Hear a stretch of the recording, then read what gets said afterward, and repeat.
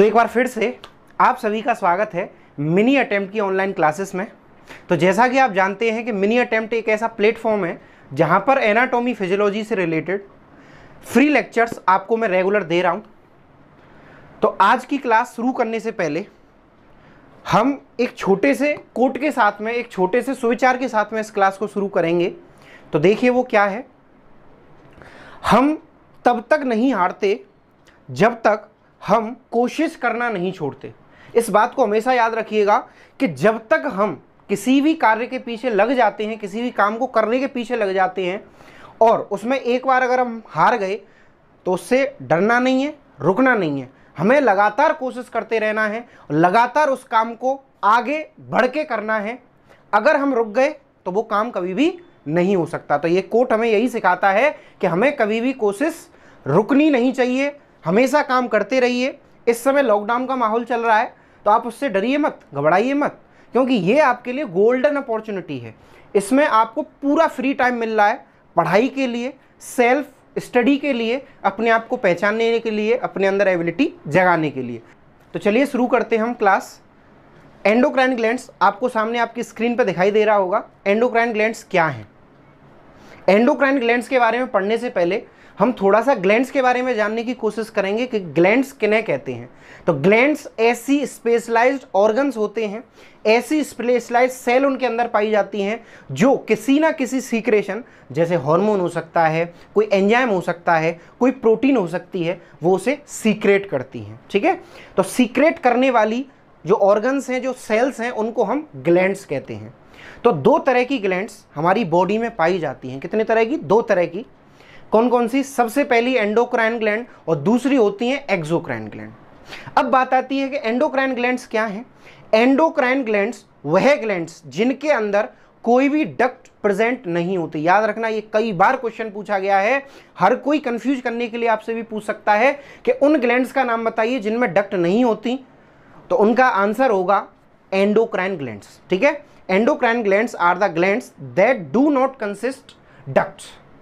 फिर बात आती है एक्जोक्राइन ग्लैंड्स क्या हैं? तो ध्यान दीजिएगा एक्जोक्राइन ग्लैंड्स वो ग्लैंड्स होती हैं जिनके अंदर डक्ट प्रेजेंट होती है, ठीक है? जैसे उदाहरण के लिए पेनक्रियास जैसे लिवर तो ये सभी क्या हैं? एंडोक्राइन और एक्जोक्राइन दोनों के मैंने आपको उदाहरण दिए। एंडोक्राइन और एक्जोक्राइन ग्लैंड्स पेनक्रियास कैसे वर्क करता है? पेनक्रियास के अंदर डक्ट भी होती है और वो डायरेक्टली अपने सीक्रेशंस को ब्लड में भी छोड़ता है। तो अब बात आती है सेकेंड पॉइंट जो आपको दिखाई दे रहा होगा आपकी स्क्रीन पर, कि they secrete hormones directly into the blood stream इसका मतलब क्या हुआ? कि एंडोक्राइन ग्लैंड्स ऐसी ग्लैंड्स होती हैं जो बिना डक्ट के, बिना डक्ट की सहायता से डायरेक्टली अपने सीक्रेशंस को हॉर्मोन्स को कहाँ छोड़ देती हैं? ब्लड स्ट्रीम में, माने रक्त परिसंचरण में, हमारे ब्लड में। ठीक है? चलिए नेक्स्ट हॉर्मोन्स अब बात आती है हॉर्मोन्स की। हॉर्मोन्स क्या है? मैंने अभी अभी आपको बताया था कि ग्लैंड्स हार्मोन सीक्रेट करती हैं। एंडोक्राइन ग्लैंड्स डायरेक्टली ब्लड में ये छोड़ती हैं। तो हॉर्मोन्स क्या हैं? Hormones are the chemical hormones are the chemical substance that are release by the gland hormones क्या हैं? हॉर्मोन्स एक ऐसे केमिकल सब्सटेंस होते हैं, ऐसी स्पेशलाइज प्रोटीन्स होती हैं, जो किसी भी ग्लैंड के द्वारा बनाई भी जाती हैं और सीक्रेट की जाती हैं। ठीक है? याद रहेगा? चलिए उसके बाद में दे रेगुलेट एंड एक्टिवेट इसका मेन फ़ंक्शन क्या है? They regulate and activate the cells of body part हमारे शरीर के अंदर जितनी भी ग्लैंड्स हैं, जितने भी अदर ऑर्गन्स हैं, जितनी भी सेल्स हैं उन सभी को एक्टिवेट और उनको वर्क कराने के लिए प्रमोट करने का काम ये हॉर्मोन्स करते हैं, ठीक है? हॉर्मोन्स के लिए स्पेशल रिसेप्टर्स हमारी बॉडी में पाए जाते हैं अलग अलग हॉर्मोन्स के लिए, ठीक है? अभी हम आगे पढ़ेंगे कि कौन कौन से हॉर्मोन्स हमारी बॉडी में कौन कौन सी ग्लैंड से निकलते हैं, ठीक है? चलिए hormones are the first messenger of body अगला पॉइंट आपको दिखाई दे रहा होगा hormones are the first messenger of body hormones को हम पहला मैसेंजर कहते हैं हमारी बॉडी का, किसी भी वर्क को करने के लिए हमारे ब्रेन को, हमारे एंडोक्राइन सिस्टम को, हमारी बॉडी सेल्स को ये मैसेज करता है, ये मैसेज प्रोवाइड करता है कि अब हमें कार्य करना चाहिए। चलिए नेक्स्ट अब आपको स्क्रीन पर दिखाई दे रहा होगा फ़ंक्शंस ऑफ़ हार्मोन अब हम बात करेंगे कि हॉर्मोन्स के फ़ंक्शंस क्या हैं, इनके कार्य क्या होते हैं, ठीक है? जैसे हर किसी इंसान का एक अलग रोल होता है, एक अलग वर्क होता है, ऐसे ही हमारी बॉडी के अंदर भी हॉर्मोन्स का एक स्पेशल काम है। तो सबसे पहला फ़ंक्शन होता है हॉर्मोन्स का फ़ूड मेटाबॉलिज्म पहला वर्क क्या है इसका? फ़ूड मेटाबॉलिज्म हमारे शरीर के अंदर भोजन की जो मेटाबॉलिज्म है मेटाबॉलिज्म मीन्स केमिकल रिएक्शंस जिनके अंदर नए नए फॉर्मेशंस हमारी बॉडी में होते हैं। तो नए नए फॉर्मेशंस होने के लिए हॉर्मोन्स रेस्पॉन्सिबल होते हैं, ठीक है? चलिए नेक्स्ट ग्रोथ एंड डेवलपमेंट अगला फ़ंक्शंस क्या है? ग्रोथ एंड डेवलपमेंट हमारे शरीर की ग्रोथ और उनको डेवलप करने में हमारे हॉर्मोन्स का अहम रोल होता है। जैसे जीएच हार्मोन उसका बहुत ही बड़ा रोल होता है। ठीक है? अगला फ़ंक्शन है controlling thirst and hunger thirst means होता है प्यास हंगर मीन्स भूख। तो भूख और प्यास, इनका भी कोऑर्डिनेशन कंट्रोल ये हॉर्मोन्स के अकॉर्डिंग होता है। नेक्स्ट है मेंटेन द बॉडी टेम्परेचर हमारे शरीर का जो तापमान है, उसे भी मेंटेन करते हैं। Next regulating mood and cognitive functions हमारे मूड और साइकोलॉजी को भी हॉर्मोन्स डिफाइन करते हैं हॉर्मोन्स उसको कंट्रोल करते हैं। ठीक है? चलिए, अगला है initiate the maintain sexual development and reproduction reproductive system जो कि हमने प्रीवियस लेक्चर में पढ़ा था तो उसका पूरा मैनेजमेंट उसको पूरा कंप्लीट कराने में, पूरा वर्क कराने में हमारे हॉर्मोन्स का रेगुलेशन होता है, ठीक है? चलिए नेक्स्ट अब हम बात करते हैं एक एक करके जो हमारी बॉडी में पाई जाने वाली ग्लैंड्स हैं। जिनमें से सबसे पहली ग्लैंड्स आती है पिट्यूटरी ग्लैंड कौन सी ग्लैंड पिट्यूटरी ग्लैंड ये मास्टर ग्लैंड भी कही जाती है, यहाँ पे पॉइंट लिखा हुआ है it is the master gland of body याद रखिएगा इसको हम मास्टर ग्लैंड कहते हैं। मास्टर हम किसे कहते हैं? आपने मास्टर की सुनी होगी। ऐसी चाबी जिससे सभी ताले खुल जाते हैं। ऐसे ही पिट्यूटरी ग्लैंड एक ऐसी ग्लैंड है जो हमारे शरीर की सभी एंडोक्राइन ग्लैंड्स को कंट्रोल भी करती है और उससे निकलने वाले हार्मोन्स को रेगुलेट भी करती है। याद रखिएगा, ठीक है? इसके दो लोग होते हैं। इसमें दो चैम्बर दो कमरे होते हैं जहाँ पर हार्मोन बनते हैं और निकलते हैं। सबसे पहला है एंटीरियर लोब और दूसरा है पोस्टीरियर लोब आपके सामने एक डायग्राम बड़ा सुंदर सा डायग्राम आपको दिखाई दे रहा होगा। उसमें आप देख सकते हैं एंटीरियर लोब और पोस्टीरियर लोब ये दोनों ही अलग अलग हॉर्मोन्स बनाते हैं, ठीक है? तो चलिए बात करते हैं हम एंटीरियर लोब की हॉर्मोन्स की. तो एंटीरियर लोब से लगभग सात हार्मोन निकलते हैं। कितने हार्मोन निकलते हैं एंटीरियर लोब से पिट्यूटरी में? सेवन याद रखिएगा, ये कई बार पूछे जा सकते हैं और डिफरेंट डिफरेंट कॉम्पिटिटिव एग्ज़ाम्स में, चाहे वो नीट का कॉम्पिटिटिव एग्ज़ाम हो, चाहे वो नर्सिंग का हो, चाहे मेडिकल का हो, उन सभी एग्ज़ाम्स में ये क्वेश्चन इस तरीके से पूछा जाता है कि एंटीरियर लोब से कौन कौन से हॉर्मोन्स सीक्रेट होते हैं। जब आपको पता होंगे, तभी तो आंसर कर पाएँगे। तो चलिए एक एक करके इनके नाम याद करते हैं। सबसे पहला हार्मोन जो कि एंटीरियर पिट्यूटरी से निकलता है, उसका नाम होता है जीएच हार्मोन कौन सा? जीएच हार्मोन पूरा नाम है इसका ग्रोथ हार्मोन ठीक है? जो ग्रोथ कराता है। दूसरा है थायराइड स्टूमुलेटिंग हार्मोन दूसरा हार्मोन कौन सा है? थायराइड स्टूमुलेटिंग हार्मोन टीएसएच ये थायराइड को स्टूमुलेट करता है। ठीक है? अगला है ए सी टी एच अगला हार्मोन कौन सा है? आपको दिख रहा होगा A C T H adrenocorticotropic releasing hormone. कौन सा? Adrenocorticotropic releasing hormone. ठीक है? चलिए, अगला है P R L P R L तो शॉर्ट में कहते हैं, इसका पूरा नाम होता है प्रोलैक्टिन। याद रखिएगा, प्रोलैक्टिन पे तो बहुत इंपॉर्टेंट है, इसको लिख लीजिए कहीं भी कि प्रोलैक्टिन एक ऐसा हार्मोन है जो मिल्क के प्रोडक्शन में हेल्प करता है। मेमरी ग्लैंड्स के अंदर मींस ब्रेस्ट के अंदर मिल्क का फॉर्मेशन करने के लिए रेस्पॉन्सिबल होता है, ज़रूरी होता है। ठीक है?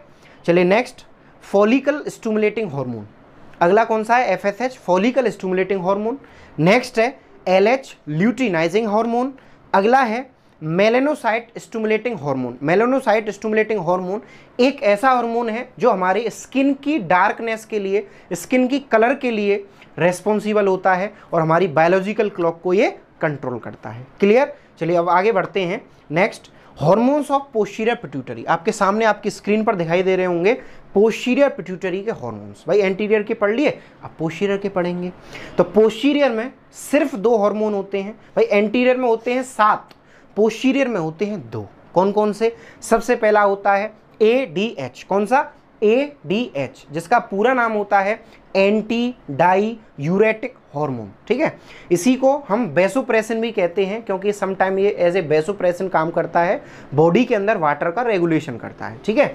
नेक्स्ट है ऑक्सीटोसिन हार्मोन अगला कौन सा है? ऑक्सीटोसिन हार्मोन इस पर भी कॉम्पिटिटिव एग्ज़ाम में कई बार क्वेश्चन पूछा गया है कि ऑक्सीटोसिन हार्मोन का वर्क बताइए। तो इसका वर्क होता है ड्यूरिंग लेबर डिलीवरी के दौरान ये यूट्रस को कॉन्ट्रैक्ट करता है जिससे बेबी आसानी से पास आउट हो सके, डिलीवर हो सके। और दूसरा ड्यूरिंग लैक्टेशन पीरियड जिस समय मदर लैक्टेशन पीरियड में होती है, उस समय जब बेबी ब्रेस्ट को शक करता है निप्पल को शक करता है तो उस समय ये सीक्रेट होता है, निकलता है और इजेक्यूलेशन ऑफ़ मिल्क के लिए ज़रूरी होता है। ठीक है? तो प्रोलेक्टिन और ऑक्सीटोसिन दोनों एक साथ काम करते हैं। प्रोलेक्टिन वर्क करता है मिल्क को बनाने में, लेकिन निकालने में या इजेकुलेट करने में ये ऑक्सीटोसिन हेल्प करता है। चलिए अब नेक्स्ट अगली ग्लैंड आती है थायरॉयड ग्लैंड कौन सी ग्लैंड थायरॉयड ग्लैंड एक सुंदर सा डायग्राम आपको नीचे दिखाई दे रहा होगा। थायरॉयड ग्लैंड ये हमारे गले में पाई जाती है। कहाँ पाई जाती है? हमारे गले में पाई जाती है। टोटल इसके दो लोब होते हैं, एक राइट लोब एक लेफ़्ट लोब ठीक है? और बीच में एक कनेक्शन है इसके। एक छोटा सा कनेक्शन है, उस कनेक्शन को हम इस्तमस कहते हैं। क्या कहते हैं उस कनेक्शन को? इस्तमस, ठीक है? इससे निकलने वाले हॉर्मोन्स कितने हैं? इससे निकलने वाले तीन हॉर्मोन हैं। कितने हॉर्मोन तीन। और एक मेन पॉइंट जो आपको याद रखना है कि थायराइड ग्लैंड हमारे शरीर के बीएमआर को बेसल मेटाबॉलिक रेट को और पूरी मेटाबॉलिज्म को कंट्रोल करता है। तो इसे याद रखिएगा, इसे नोट कर लो इस चीज़ को, ठीक है? चलिए। तो सबसे पहला हार्मोन है इसका टी थ्री दूसरा है टी फोर और तीसरा है कैल्सीटोनिन तो टी थ्री का जो अदर नेम है, वो है ट्राई आयोडोथायरोनिन क्या है उसका other name triiodothyronine T four उसका अदर नेम होता है टेट्रा आयोडोथायरोनिन क्या होता है? टेट्रा आयोडोथायरोनिन ठीक है? और नेक्स्ट है कैल्सीटोनिन तो याद हो गया? चलिए नेक्स्ट अब बात करेंगे हम hormones of parathyroid gland hormones of parathyroid gland ठीक है? पैराथायरॉयड ग्लैंड्स के हार्मोन्स के बारे में तो आपको स्क्रीन पर दिखाई दे रहे होंगे।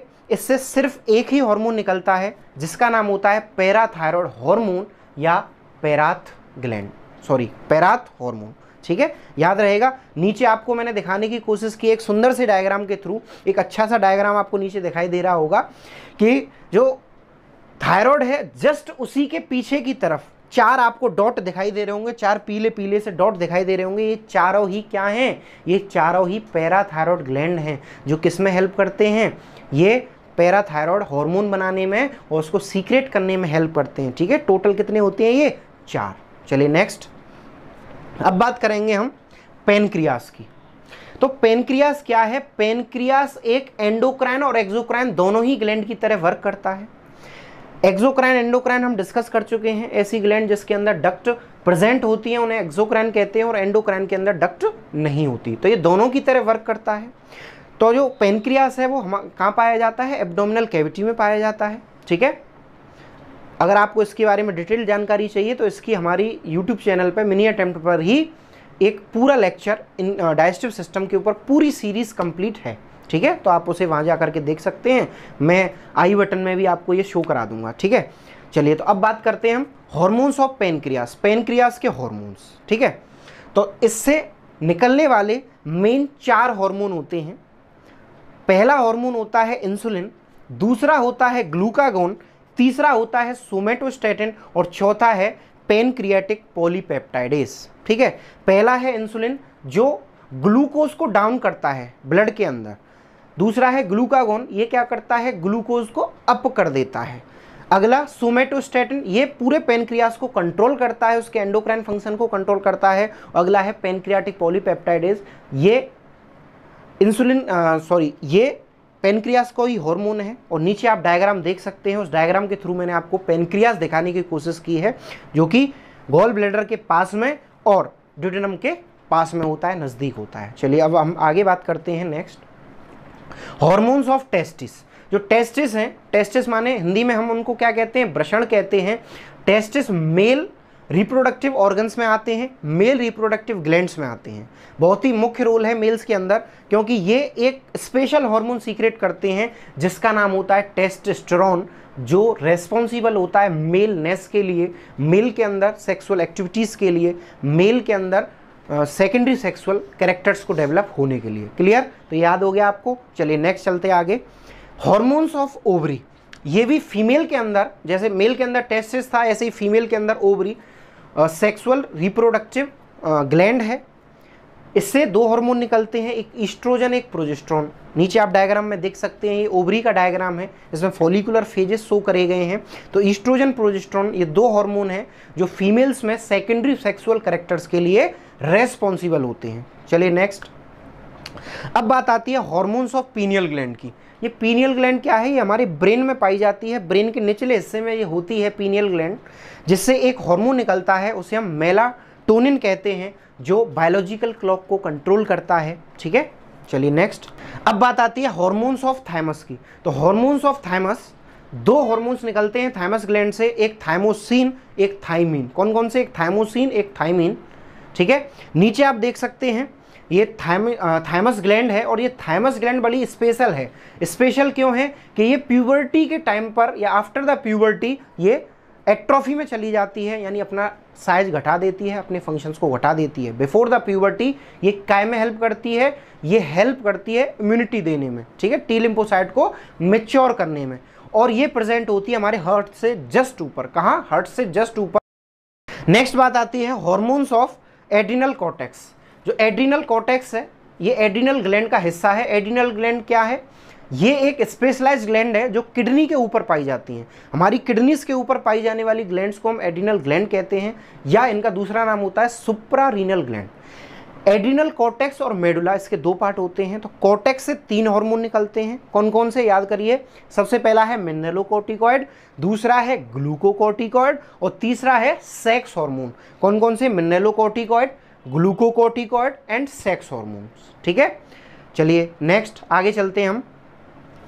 अब बात आती है hormones of adrenal medulla adrenal gland का दूसरा पार्ट जो कि मेडुला होता है और मेडुला इनर पार्ट होता है, इससे दो हार्मोन निकलते हैं, एक एड्रीनलाइन एक नॉर एड्रीनलाइन जो एड्रीनलाइन है, उसका दूसरा नाम होता है एपिनेफ्राइन और नॉर एड्रीनलाइन का नाम होता है नॉर एपिनेफ्राइन याद रहेगा, ये दोनों ही हमारी बॉडी में स्टूमुलेशंस के लिए वर्क करते हैं. इनको hormones of fight and flight भी हम कहते हैं. ठीक है? चलिए नेक्स्ट अगला है हॉर्मोन्स ऑफ़ किडनी अब हमारी जो किडनी है, उससे कौन कौन से हॉर्मोन्स निकलते हैं? तो किडनी से तीन हार्मोन निकलते हैं पहला रेनिन दूसरा एरिथ्रोपोइटिन और तीसरा निकलता है one comma twenty five di hydroxy cholecalciferol ठीक है? जो कि विटामिन डी में हेल्प करता है। तीसरे नंबर का जो हार्मोन हमने बात करी one comma twenty five di hydroxy cholecalciferol ये काय में हेल्प करता है? ये हेल्प करता है विटामिन डी के फॉर्मेशन में और इरिथ्रोपोइटिन करता है ब्लड के फॉर्मेशन में, ठीक है? और रेनिन वाटर के बैलेंस को कंट्रोल करता है। चलिए आगे। अब बात आती है हमारे हर्ट के बारे में। शायद आपको पहली बार आपने सुना हो या इससे भी पहले सुन सकते हैं आप कि हर्ट भी हमारा एक फैक्टर सीक्रेट करता है, जिसको हम कहते हैं ए एन पी माने एट्रियल नेट्री यूरेटिक पेप्टाइड। ये एक फैक्टर है जो कि हर्ट के द्वारा सीक्रेट होता है, ठीक है? चलिए नेक्स्ट अब आते हैं हॉर्मोन्स ऑफ़ प्लेसेंटा की तरफ़। तो प्लेसेंटा में से कौन कौन से हॉर्मोन सीक्रेट होते हैं? तो पहला निकलता है ह्यूमन कोरियोनिक ग्लोनेडोट्रोफिन दूसरा निकलता है ह्यूमन प्लेसेंटल लेक्ट्रोजन या ह्यूमन कोरियोनिक सोमेटोट्रोफिन। तीसरा निकलता है इस्ट्रोजन एंड चौथा निकलता है प्रोजेस्ट्रॉन। ये चारों ही हार्मोन ड्यूरिंग गेस्टेशन पीरियड बहुत ही हेल्प करते हैं, मदद करते हैं और प्लेसेंटा इसको सीक्रेट करता है। नीचे आपको डायग्राम दिखाई दे रहा होगा, ये डायग्राम किसका है? प्लेसेंटा का। तो इसी के साथ में हमारा आज का लेक्चर कंप्लीट हुआ। याद रखिएगा, अगर आप हमारे चैनल पर नए हैं तो पहले उसे सब्सक्राइब करें हमारी वीडियोस को शेयर करें, ज़्यादा से ज़्यादा शेयर करें, जिससे लॉकडाउन में, लॉकडाउन जैसी स्थिति में लोगों को, आपके साथियों को, आपके दोस्तों को एनाटॉमी फिजियोलॉजी से रिलेटेड वीडियो पढ़ने का मौका मिले और वो अच्छे से अपनी नॉलेज को गेन कर सकें और इस लॉकडाउन को आप अपनी अपॉर्चुनिटी बनाइए। अगर आपने इसको अपॉर्चुनिटी बनाया तो आप निश्चित ग्रोथ करेंगे और अपने लक्ष्य में सफल होंगे। Thank you very much